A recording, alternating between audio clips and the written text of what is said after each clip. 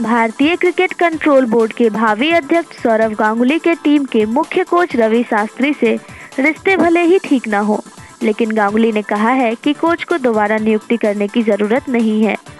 शास्त्री को कोच चुनने वाली एड हॉक क्रिकेट सलाहकार समिति को बोर्ड के लोकपाल डी के जैन ने हितों में टकराव में घसीटा था और ऐसी संभावनाएँ जताई जा रही थी कि अगर सीएससी का गठन अवैध घोषित होता है तो शास्त्री की कुर्सी जा सकती है।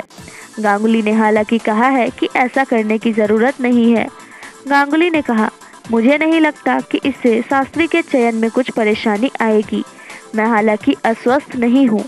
जहाँ तक कि हमने तब भी कोच का चयन किया जब हितों के टकराव का मुद्दा था। वहीं गांगुली से जब पूछा गया, क्या उन्होंने बोर्ड का अध्यक्ष तय होने के बाद शास्त्री से बात की है? तो गांगुली ने हँसते हुए कहा, क्यों? अब उन्होंने क्या किया? अगर लोकपाल सीएसी को हितों के टकराव का दोषी मानते हैं तो शास्त्री को दोबारा नियुक्ति करने की ज़रूरत है या नहीं? इस पर प्रशासकों की समिति के अध्यक्ष विनोद राय ने टिप्पणी करने से मना कर दिया था। राय ने आईए एनएस से कहा था, पहली बात तो यह काल्पनिक सवाल है, दूसरी बात मेरा लोकपाल के फैसले से पहले कुछ भी बोलना गलत है।